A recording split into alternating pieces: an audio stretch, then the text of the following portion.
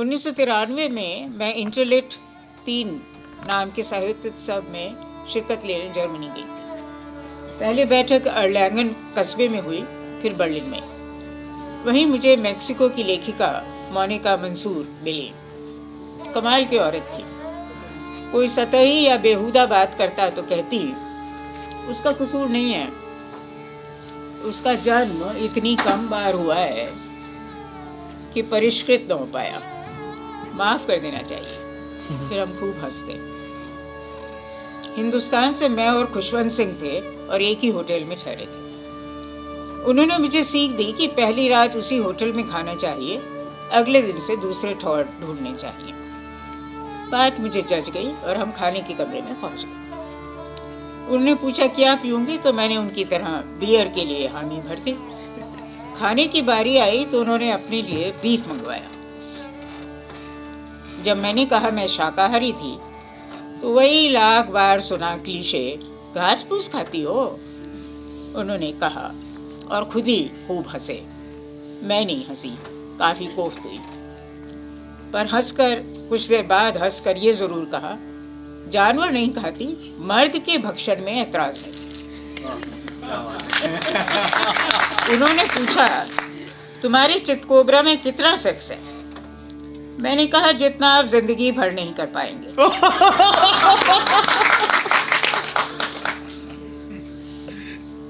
अब तक तो ठीक था चलता हूँ किस्म की नोक झोंक चल रही थी।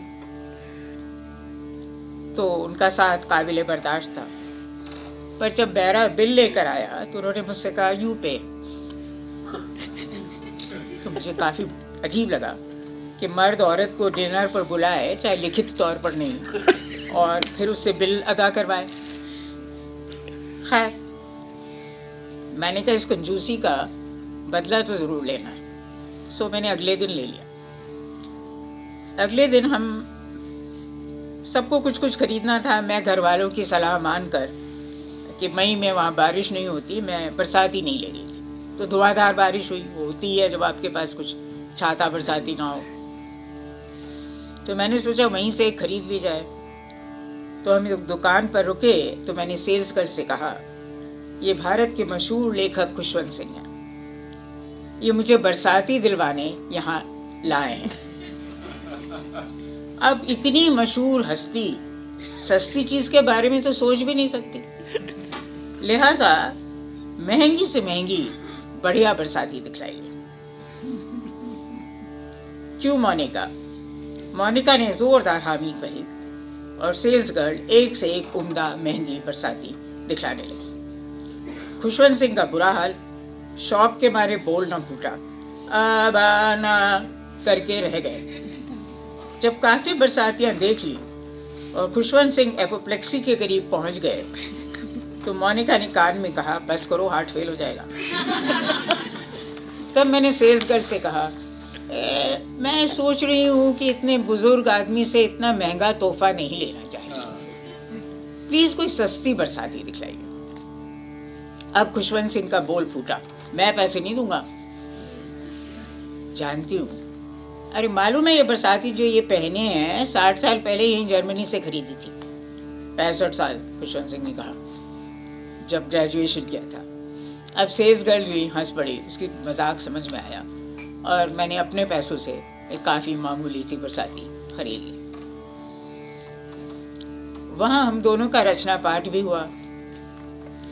पाठ के दौरान खुशवंत सिंह ने कुछ ऐसी बेशौरी का इजहार किया कि मैं तो मैं तमाम नौजवान जर्मन श्रोता दंग रह गए। लोगों के इसरार पर मैंने चितकोबरा के अंश हिंदी में पढ़े। क्योंकि उसका जर्मन अनुवाद हो चुका था तो एक छात्र ने जर्मन में उसका तारुफ करवा दिया था। खुशवंत सिंह ने अंग्रेज़ी में कहानी पढ़ी जो अच्छी ही रही होगी। बस मुझे नहीं लगी और कुछ श्रोताओं को भी नहीं लगी। मे, मेरे पाठ के नस्बतन उनकी कहानी में तालियाँ कम बजी। उसमें अंग्रेज़ी बोलने की महिमा बयान की गई थी जिससे हिंदुस्तानी भले बाग बाग हो जाएँ अब जर्मन क्यों होंगे? आग बबूला हो खुशवंत सिंह बोले हिंदी एकदम दरिद्र भाषा है। उसमें पढ़ने का सबब दरिद्र माई? एक लड़के ने पूछा। उसमें रैट और माउस दोनों के लिए एक ही लफ्ज है, चूहा। हा हा हा। मैं कुछ कहती, उससे पहले एक हिंदी जानने वाले जर्मन लड़के ने कहा, मेरा ख्याल था हिंदुस्तान में रैट नहीं होते। सिवाय एक के। किसी ने फुसफुसा कर जोड़ा, पर इतने साफ़ तलफ़ुज में सुनाई दे गया। भाषा अमीर गरीब नहीं होती, मैंने कहा, बोलने वाले होते हैं। संस्कृति के हिसाब से भाषा में कम ज़्यादा शब्द होते हैं। एस्किमो भाषा में बर्फ़ के लिए सौ शब्द हैं। अंग्रेज़ी में मैं कह कह रही थी कि बीस जुमले खुशवंत सिंह तमक कर खड़े हो गए। बोले, मुझे जाना है। ज़रूर आयोजकों ने कहा, गाड़ी मंगवा देते चलो, देर हो गई। उन्होंने रुखाई से मुझसे कहा। उनके लिए अलग गाड़ी है आयोजक बोले। वो रुकेंगी अभी। हम उनसे कुछ छात्र, उनसे सवाल पूछना चाहते आप जाएँ।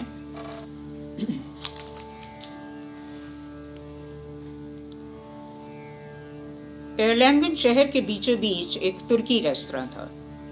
हर पार्टी वहीं होती थी। बैठक खत्म हुई तो विदाई भोज उसी रेस्तरा में हुआ। खुशवंत सिंह खुश थे कि सुवर्णा से ही बीफ तो खाने को मिलेगा। उससे पहले जब हम जर्मन मध्यस्थ के साथ रचना पाठ के लिए जा रहे थे, खुशवंत सिंह के इसरार पर रात का खाना ऐसे रेस्तरा में खाने रुके जहाँ मशहूर जर्मन सॉसेज मिलते थे। जब मैंने खाने से इनकार किया तो दोनों खूब हंसे। भूखे पेट हँसी बर्दाश्त करना ज़रा मुश्किल होता है। पर आखिर में हँसी मैं, वे नहीं। जो खुद रेस्तरा का मैनेजर बियर के साथ मशरूम और चीज़ का लजीज पीश लाया और बोला, हमारे यहाँ से कोई भूखा जाए, हमारी और मेहमान दोनों की तोहीन है। खैर बिताई की पूनम की रात का बयान करूँ। वह ये कि वहाँ एक सज्जन पूरी बर्लिन से आए हुए थे। बर्लिन की दीवार हाल फ़िलहाल गिरी थी, पर पूर्वी और पश्चिमी बर्लिन के बीच अब भी दीवार से बड़ी खाई थी। वही जो अमीरों और गरीबों के बीच होती। ये सज्जन भी हमारी तरह ठटा कर हंस रहे थे, जैसे मैं, मोनिका और तीसरी दुनिया के बाकी लोग। सभी ने राइन वाइन को ज़्यादा पी ली थी। राइन वाइन की में हम जब उन्नीस सौ अट्ठासी में मैं सबसे पहले बाहर गई थी युगोस्लाविया गई थी, और लौटते हुए मैं पांडे जी की घर जर्मनी में ठहरी थी तो वहाँ जमकर राइन वाइन पी थी। हम क्या करते थे कि रात में वाइन में स्ट्रॉबेरी डालकर रख देते थे, और सुबह वाइन से लबा, लब, लबालब स्ट्रॉबेरी खाते थे। तो क्या सुरूर रहता था सारा दिन? पर हैंगओवर कभी नहीं होता था। राइन वाइन की ये खासियत है कि उससे हैंगओवर नहीं होता। रात के करीब 12 बजे होटल जाने को रेस्टोरेंट से निकले, तब भी हम बेतहाशा हंस रहे थे। एक खुर्राट जर्मन ने टोका इतनी ज़ोर से हंसेंगे तो लोग पुलिस बुला लेंगे। इतनी रात को शोर करना मना है। हमने कहा, वो सज्जन भी तो हंस रहे हैं। जवाब मिला, वो पूर्व, पूर्वी बर्लिन से है। मारे हँसी के हमारा पूरा हाल। उसी वक्त किन्हीं बंदों को ऊँची आवाज़ में सियार की तरह हुआ हुआ करते सुना। इतना होश था कि समझ गए असली सियार नहीं है। हमने कहा, वो ये जो सियार की तरह हुआ हुआ कर रहे हैं। वे स्टूडेंट्स हैं, पूनम की रात को करते हैं। अरे, उन्हें पुलिस नहीं पकड़ती तो हम तीसरी दुनिया के बाशिंदों को क्या खाकर पकड़ेगी? 200 साल तक हमारा काम ही पुलिस को चकाना रहा है। खुशवंत सिंह के अलावा उनके पिता राय बहादुर थे। हँसी की गूंज सुन जो पूरी बर्लिन के सज्जन थे, वो भी हमारे पास आ पहुँचे। किसी ने पुलिस नहीं बुलाई। होटल पहुँचने तक फिर वो खुर्राट जर्मन भी नहीं दिखे। फिर हम, जैसे मैंने कहा एयरलैंगन से बर्लिन गए। बर्लिन निकलने से पहले ईरान से आए, नायाब, अदीब और शायर दौलत आबादी का ज़िक्र ज़रूरी है। पता नहीं आप लोगों ने उनका नाम सुना है नहीं, पर सुनना चाहिए। अदीब न मर्द होता है, न औरत, बस अदीब होता है। हालाँकि दौलत आबादी साहब तब के ईरान के कायल मान औरतों से बात नहीं करते थे। आखिरी दिन वो रिवायत टूटी और क्या खूब टूटी। पर वो किस्सा बर्लिन पहुँचने के बाद हुआ। एयरलैंगन में हम ये तक नहीं जानते थे कि उनकी कुछ रचनाओं का जर्मन तर्जुमा हो चुका था। इतना ज़रूर जानते थे कि उनकी रचनाएँ, क्योंकि कुछ गिरफ़्तार क्रांतिकारियों के पास मिली थी, इसलिए उन्हें भी गिरफ़्तार कर लिया गया था। हालाँकि अदालत ने साफ़ कहा था, उनका कोई जुर्म नहीं है। जर्मनी आने से पहले वो दो साल जेल काट चुके मगर हम लोगों को जब बुलाया गया तो सबको एक फैक्स भेजा गया था, जिसमें कहा गया था कि अपने शहर पर कुछ रचनात्मक लिख कर लाएँ और वहाँ पढ़ें।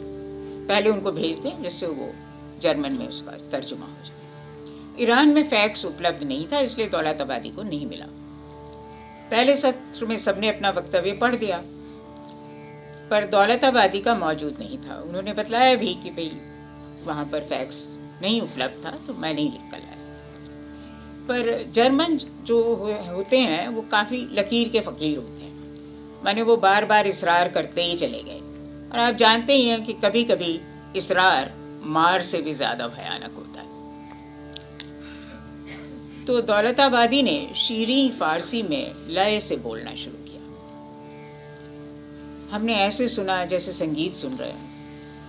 मतलब तो कुछ पल्ले नहीं पड़ा। उन्होंने एक मोहतरमा को, जो उनके हिसाब से फारसी से अंग्रेज़ी में अनुवाद कर सकती थी, मंच पर उतार दिया था।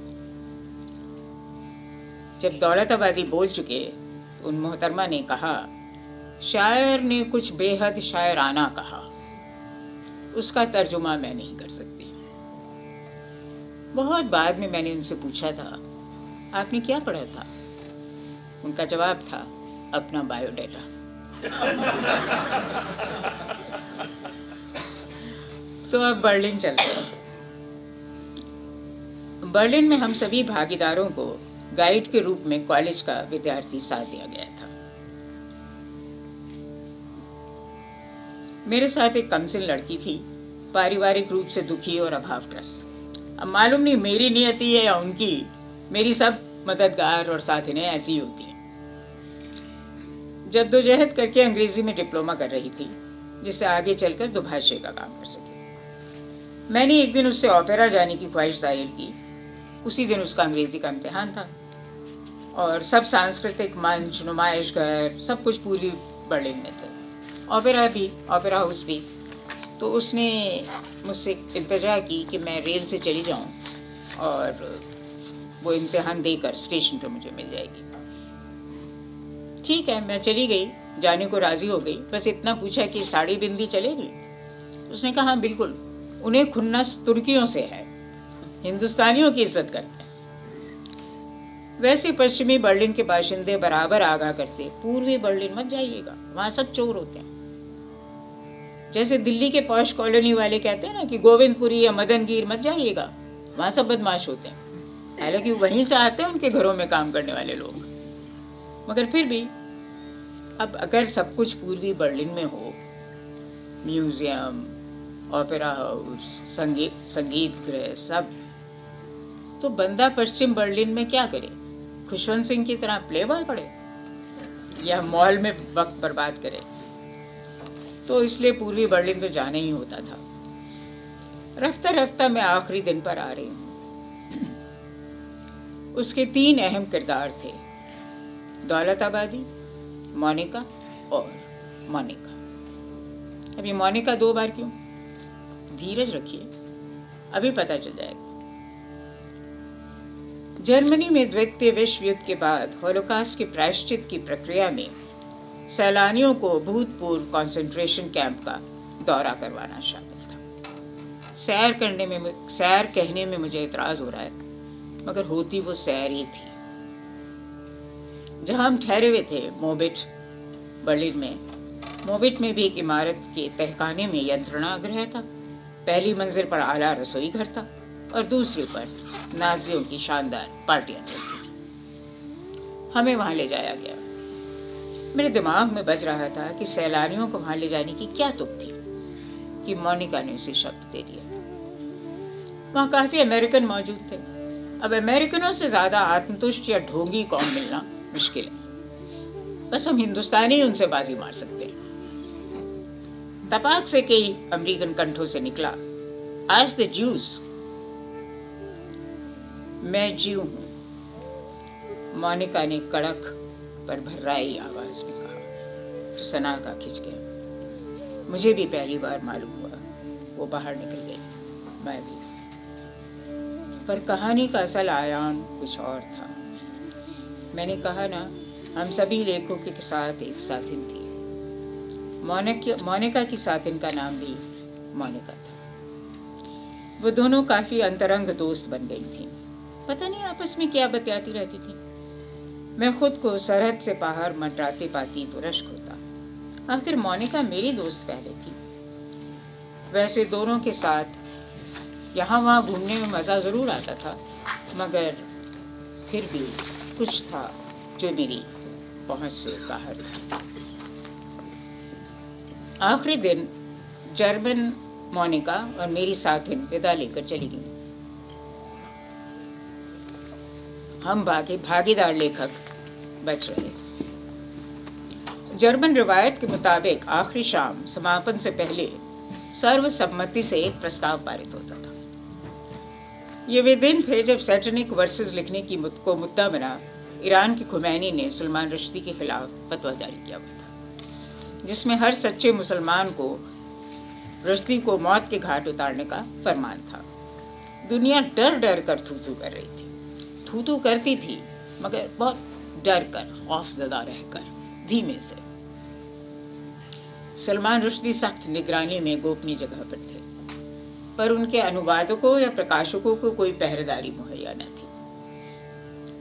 कुछ ही दिन पहले जर्मनी से बाहर एक अनुवादक की हत्या हो गई थी। समापन सत्र में पहुँचे तो सर्वसम्मति से पारित होने के लिए प्रस्ताव पेश किया सलमान रुश्दी और उनके सभी प्रकाशकों और अनुवादकों से हमदर्दी जतलाते हुए ईरान की खुमैनी की हम निंदा करते हैं। उन्हें चेतावनी देते हैं कि फतवा वापस न लिया गया तो अंजाम बहुत बुरा होगा। सुनकर मेरे होश वाख्ता हो गए। कोई अक्ल या इंसानियत का इतना बड़ा दुश्मन कैसे हो सकता है कि ये न जाने कि ईरान के अदीब महमूद दौलताबादी वहाँ मौजूद थे? और उनके मौजूद होने का मतलब था कि सर्वसम्मति से पारित प्रस्ताव को उनका समर्थन था? अरे, एक दिन पहले ही तो जन्मन में अनुदित उनकी रचनाओं का सत पर सत्र हुआ था। और आज आयोजक ही नहीं, भागीदार, अदीब और शायर भी इंसानियत और अक्ल के दुश्मन नज़र आ रहे थे। सब गर्दन हिला हिला कर खुश हो रहे थे। जब प्रस्ताव पढ़ा जा रहा था, तभी मैं सभागार में लगे माइक के पास पहुँच। प्रस्ताव पढ़कर जैसे ही सभापति ने ऐलान किया, सबकी सहमति है ना? हाथ उठाएँ या हाँ कहें। मैं खड़ी हो गई और ज़ोर से चिल्लाकर माइक पर कहा, नहीं, मैं सहमत नहीं हूँ। ऐसी घनघोर चुप्पी पहले कभी सुनी न थी। क्यों? समझा कर बतलाइए, उन्होंने कड़वे तंज के साथ कहा। गुस्से के मारे मेरी नसें तड़प रही थी, पर मैंने संयत और कठोर स्वर में कहा, आप अच्छी तरह जानते हैं, ईरान के अदीब, महमूद दौलताबादी यहाँ मौजूद हैं। सर्वसम्मति से पारित होने का मतलब होगा, उस प्रस्ताव को उनका समर्थन है। तब ईरान वापस जाने पर उनका क्या हश्र होगा? क्या आप नहीं जानते, इसमें समझाने की क्या है? आप अकेले इसका विरोध नहीं कर सकती। कर सकती हूँ, बिल्कुल कर सकती हूँ, कर रही हूँ। आप हम पर जबरन सर्वसम्मति नहीं ठोस सकते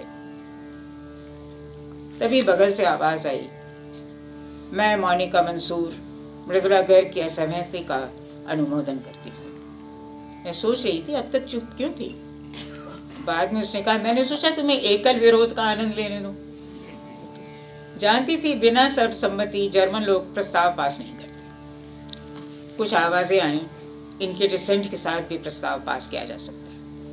नहीं, सभापति ने टपट कर कहा, हमारे प्रस्ताव हमेशा सर्वसम्मति से पास होते हैं। फिर मुझसे मुखातिब हुए, प्लीज़, अपनी असहमति वापस ले लीजिए। नहीं। मंच पर आसीन आयोजक आपस में गुफ्तगू करने लगे। देर तक की। फिर पूछा, आपका ये अंतिम निर्णय है? जी, मेरी असहमति है और रहेगी, मैंने कहा। तब हम इस सम्मेलन के बाद कोई प्रस्ताव पारित नहीं कर सकते। हतोत्साहित आवाज़ में सभापति साहब ने कहा, कोई और प्रस्ताव ड्राफ्ट कर लीजिए? किसी ने तंज के साथ कहा, ये कि हम फैसला करते हैं कि यहाँ बुलाकर लेखकों का अपमान करेंगे? यकीनन, सर्वसम्मति से पारित हो जाएगा। मोनिका के सिवा कौन हो सकता था? मैं घोषणा करता हूँ कि इस बार हम कोई प्रस्ताव पारित नहीं कर रहे। सभा खारिज। सभापति साहब खड़े हो गए। हम सब भी सम्मेलन समाप्त हो गया। चलो, कॉफ़ी पिए, मोनिका ने कहा, और हम चल दिए उसी रात मोनिका को फ़्लाइट लेकर घर वापस जाना था और मुझे ऑस्ट्रिया। अभी तो वो और मैं अपने पसंदीदा कैफ़े में पसरे कॉफ़ी पी रहे थे। मुझे बिना हैंडल के चौड़े मुँह वाले पैमाने में कॉफ़ी परोसने का तरीका बहुत पसंद था। दोनों हाथों के बीच पकड़ने से मुँह के साथ हाथ भी गर्मा जाते थे और अपना ददिहाल याद आ जाता था। जब दोनों हाथों में गिलास थाम चाय सुड़की जाती थी। तभी दौलत आबादी वहाँ आते रहते थे।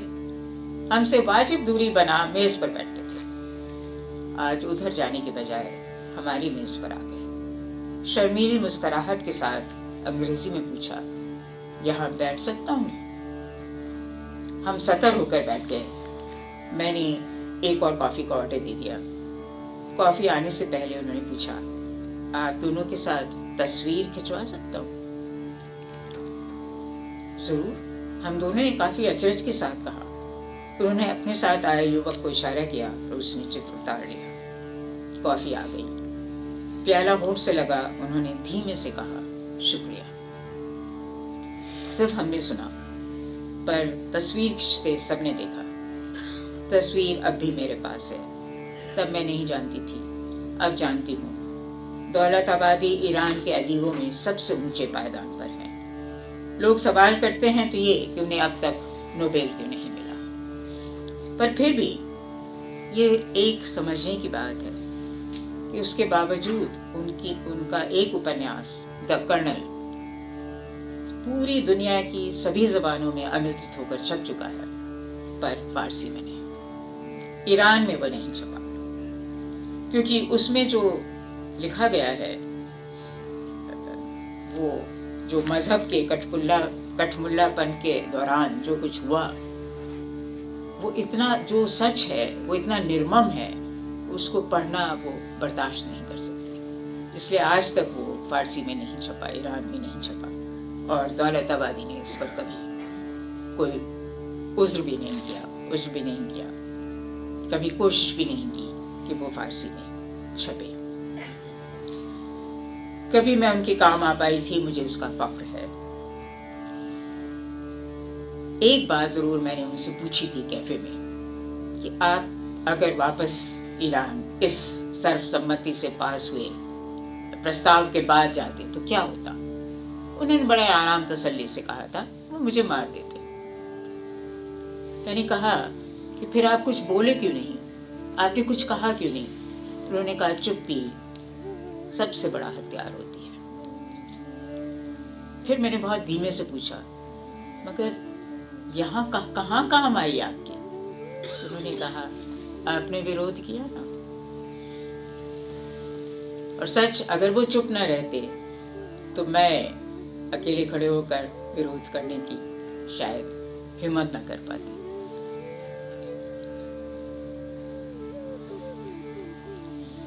एक बात अभी बदलानी रह गई है। इंतज़ार जिसका हो रहा है, दो मानिकाओं की कहानी। उनसे विदा लेकर बाहर निकले तो मानिका ने कहा, चलो साथ, बगान में बैठते हैं। फिर निकलना होगा मुझे। मैंने कहा मोनिका हर्ष नहीं आ रही? वो अपने भीतर डूब गई, देर तक चुप रही। क्या हुआ? उसका नाम नहीं लेना चाहिए था। पर क्यों? उसके बारे में जानना चाहती हो? अतल गहराई से आवाज़ आई। मैं चुप रही।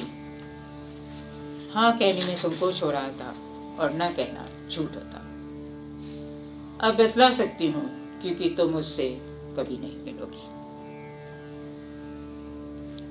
उसने लंबी सांस खींचकर कहा मुझे उसने पहले दिन ही बतला दिया था। उसके पिता नाजी अफसर थे। दूसरों का हुक्म बजा लाने वाले भर, लाने भर वाले नहीं काफ़ी ऊँचे पद वो ऐसा राज था जिसकी उनके परि, जिसकी उनके परिवार में कोई कल्पना भी नहीं कर सकता था।